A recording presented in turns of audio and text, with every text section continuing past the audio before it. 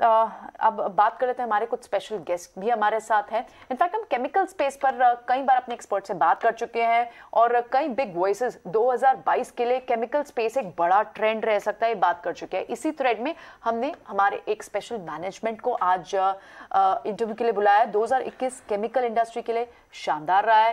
Chemical हो speciality chemical company हो, Balaji mines का नाम ज़रूर आता है।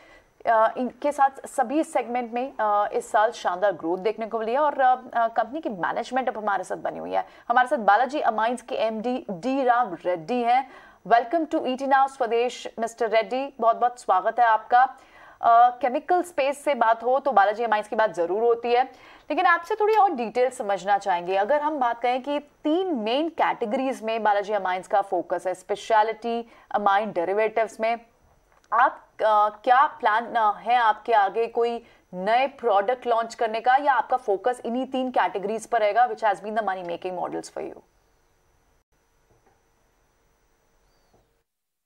chemical and speciality chemical industry will continue and growth path for the current year maybe another one one two years तो इतना तो विज़िट दिखता है और all speciality and normal chemicals also, which are all very chemical, specialty chemical. Next step is your intermediate and uh, parameters for the pharma and API industry. Ram पहले तो बहुत बहुत शुक्रिया आपका आज एटीन स्वदेश को समय देने के लिए एक चीज़ मेरे को बताइए करीब 18 सेगमेंट्स ऐसे हैं जो कि आपकी कंपनी से कनेक्टेड हैं जिसमें फार्मास्यूटिकल है एग्रो है पेस्टिसाइड्स हैं इस तरह के कई सेगमेंट्स हैं। तो सबसे अच्छी ग्रोथ किस सेगमेंट से आपको मिल रही है? कौन सी कंपनी आपको सबसे ज़्यादा ऑर्डर्स दे रही है इस समय?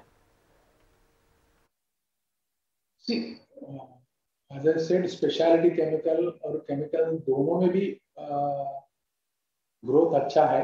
All which are depends upon API industry and pharmaceutical industry साथ साथ एग्रो केमिकल इंडस्ट्री भी है। इसका कारण यह है स्पेसिफिकली एपी एंड फार्मा के लिए पिछले महीने में जैसा नवंबर में गवर्नमेंट ऑफ़ इंडिया ने पीएलआई स्कीम करके पहले डिक्लेयर किया था आत्मनिर्भर भारत अंतर्गत। उसमें almost about fifty fifty five industries के लिए वो लोगों ने अप्रूवल दिया पीएलआई स्कीम के अंतर्गत। Group A group B group C करके। ये फिफ्टी फाइव इंडस्ट्रीज़ में अगर आप आ, एक फिफ्टी परसेंट भी इंडस्ट्रीज़ रियलिस्टिक में अगर चालू करते हैं।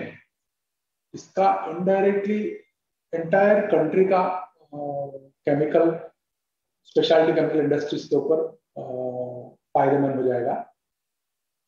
और ये जो पैंडेमिक सिचुएशन में जो प्रॉब्लम फेस की है सभी pharma AP industry even chemical intermediate industry भी जो फेस किया है बिकॉज़ दी चाइना से जो आना बंद हो गया, उस वजह से भी बहुत सारे इंडस्ट्रीज़ पीएलआई स्कीम बोलो या इन नॉर्मल एक्सपेंशन में भी everybody has taken the expansion plans for developing these new intermediates नए इंटरमीडिएट जितने भी लगेंगे जो अपन चाइना के ऊपर डिपेंड होते थे वो स्लोली स्लोली इंडिया में डेवलप होना शुरू हो गया, जिसका फ़ायदा आपको अगले साल, दो साल में दिखेगा।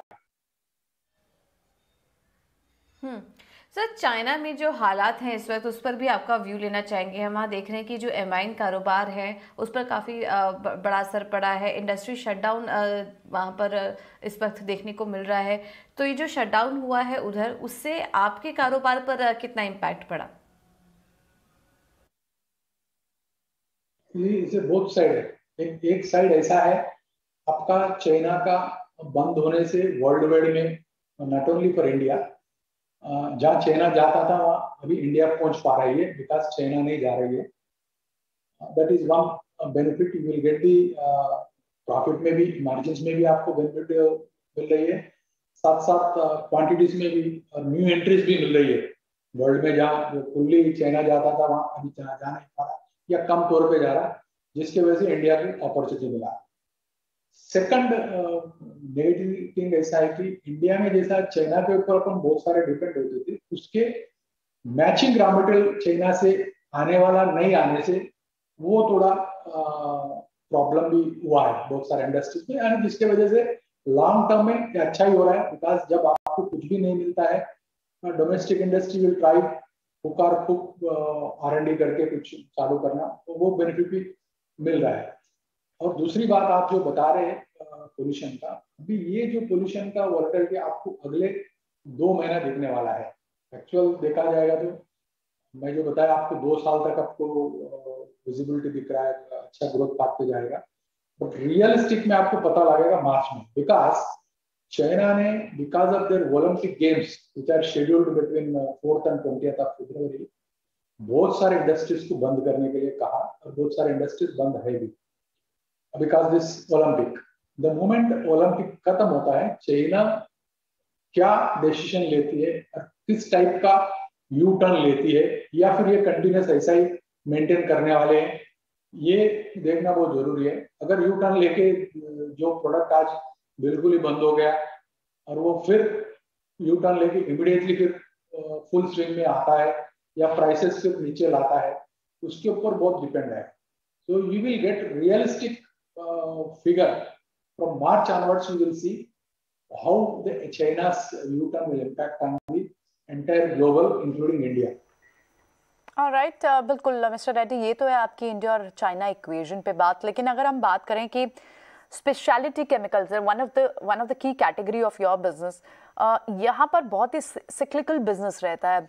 आपका क्या लग, आपको क्या आपका क्या मानना है? क्या आपको लगता है कि इस सेगमेंट में आगे भी ग्रोथ जारी रहेगी? 2020 बहुत अच्छा रहा स्पेशलिटी केमिकल्स के लिए। 2021 में भी नॉट दैट वार्म रिस्पॉन्स इतना ज़्यादा अच्छा रिस्पॉन्स था लिकोम रहा। लेकिन क्या आप 2021 में आपको लगता है speciality chemical will still continue to do good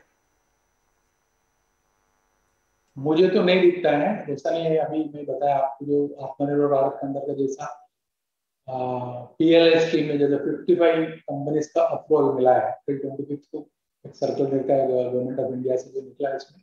I have seen almost 55 companies को अप्रूवल किया जिसमें से अगर बीस, पच्चीस पच्चीस कंपनी में अगर रियलिस्टिक में चालू करते definitely you will see is growth बाकी रहा आप जो साइक्लिक जैसा आपने बताया, कभी एवरी टू थ्री इयर्स को ऐसा डाउन ट्रेंड आती है। एक्चुअली ये जैसा मैंने बताया आपको ओलंपिक गेम उसी टाइप का कोई ब्लू स्काई इस टाइप के कभी कभी इंसिडेंट होते हैं, जिसके वजह से इसको ऐसा नाम दिया गया है कि दो साल में एक बार ऐसा होता ही है, नीचे जाता है, ऊपर होता है चाहिए तो ऐसा नहीं है। आज के दिन में जो मेरा पर्सनल व्यू में जो लगता है because of this pandemic situation because of this China on off जो हुआ है, ये एटलीस्ट फॉर इंडिया के लिए तो बहुत अच्छी बात है।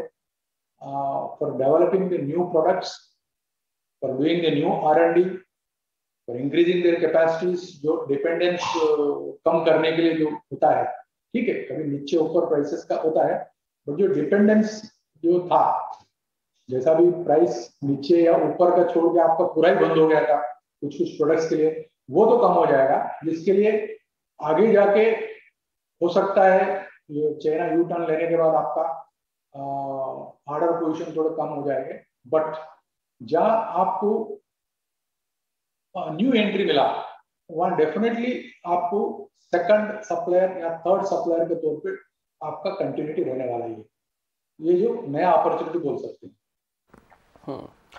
राम एक और चीज़ है इस समय डिमांड और सप्लाई में ना कई जगह पर हमने डिस्टर्बेंसेस देखी हैं। कई जगह एकदम से सप्लाई बढ़ गई कई जगह एकदम से डिमांड बढ़ गई। तो आपकी इंडस्ट्री में इस समय क्या चल रहा है? आपके पाँच मैन्युफैक्चरिंग यूनिट है तेलंगाना में और महाराष्ट्र में। हंड्रेड कैपेसिटी के साथ काम कर रही है क्या वो units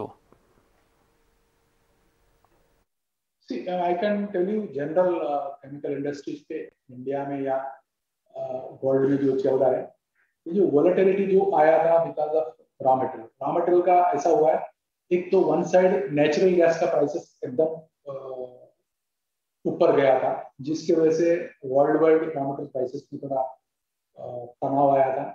और सेम टाइम कोल का प्राइसेस भी बहुत ऊपर गया था बीच में। जैसा कि चाइना ने एकदम कोल के ऊपर बहुत ज़ोर से काम किया, उसके माइंस के जो जूने माइंस पूरा बंद किए थे, फिर नया चालू किया। आज के दिन कोल का प्रोडक्शन इन चाइना बहुत ज़्यादा होने से और वर्ल्ड वाइड कंजम्पशन कम होने से कोल का कोल का प्राइसेस नीचे आया देर आर फ्यू प्रोडक्ट्स जैसा कि methanol in some countries most of the countries वो नेचुरल गैस के ऊपर है और क्रूड के ऊपर है। In China specifically, other industry of the methanol is at the coal base. जैसे ही कोल का प्राइसेस नीचे आ गया फिर रॉ मटेरियल प्राइसेस जैसा मेथनॉल का प्राइस नीचे आने लगा। ये वोलेटिलिटी की वजह से अपने को लगता है किसी में कम, किसी के ज़्यादा, किसी प्रोडक्ट में, नीचे ऊपर का जो वोलेटिलिटी है और कोई भी इंडस्ट्री इमीडिएटली डिसीज़न नहीं ले पाता है। जैसा पहले क्या होता था, दो दो, तीन तीन महीने के लिए कॉन्ट्रैक्ट साइन करते थे, कोई भी प्रोडक्ट के ऊपर, जैसा मेथनॉल तीन महीने के लिए ब्लॉक करके रखते थे। आज वैसा कर नहीं पा रहे बिकॉज़ ऑफ़ वोलेटिलिटी प्राइसेस जैसा हमने आज एकदम से तीन महीने का किया, अगर प्राइसेस नीचे आ गया तो विल तो इसके लिए एक वोलेटिलिटी का ही प्रॉब्लम है। हम मेरे ख्याल से आपको मार्च के बाद ये सब क्लैरिटी रहेगा। सर आपके क्लाइंट बेस के बारे में भी समझना चाहेंगे। अगर कुल आय की बात करें तो इसमें जो आपके टॉप मेजर क्लाइंट्स हैं टॉप फाइव क्लाइंट्स हैं वो आपके आय में कितना कंट्रीब्यूट करते हैं? मैं आपको बता रहा हूँ जनरल केमिकल इंडस्ट्रीज़ में स्पेशलिटी केमिकल में। मैं पिछले दो क्वार्टर से देख रहा हूँ। कोई मेजर अपस्ट्रैक्टर कोई दिखा नहीं। Definitely entire segment of the speciality chemical intermediate definitely is on the growth path और अगले साल भर भी ऐसा ही रहेगा, मुझे लगता है।